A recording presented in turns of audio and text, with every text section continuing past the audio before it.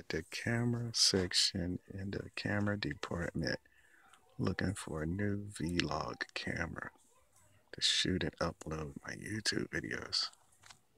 Oh, skit. I think we can go with this one. Right here. Sears. What? Five freaking dollars? No way. Skeeot.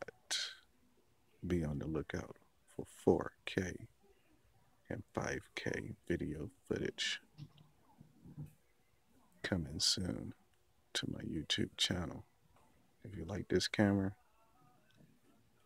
comment, thumbs up, share, and subscribe.